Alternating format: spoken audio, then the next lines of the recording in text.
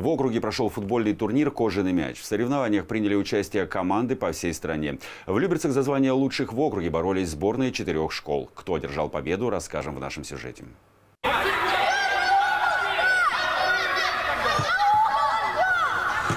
У вратаря задача не из легких. Если пропустит мяч, может проиграть вся команда. Голкипер гимназии номер один Артем Драбкин серьезно занимается футболом третий год. Умеет играть и в защите, и в нападении, но любимая позиция на воротах. Несмотря на юный возраст, у спортсмена большие планы на будущее.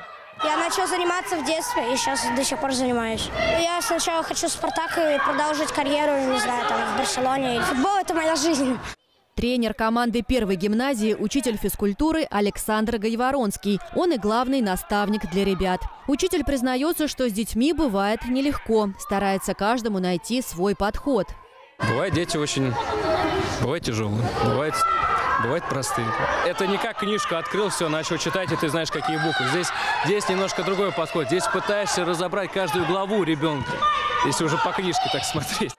Турнир «Кожаный мяч» провели на новом футбольном манеже «Олимп». Сыграли четыре команды. Первая гимназия, 10 и 11 школы, а также сборная поселка Тамилина. Это турнир проводится среди так называемых дворовых команд. Здесь нету профессионалов. Это дети, которые занимаются в секциях непрофессионально.